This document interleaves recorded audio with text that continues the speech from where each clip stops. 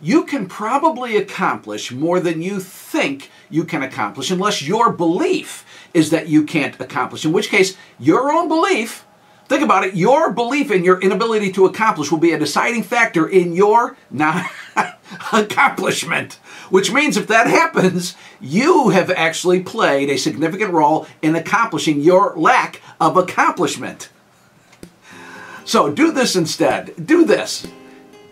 With God's help. We need God. With God's help, believe that you can accomplish after all. Think about it.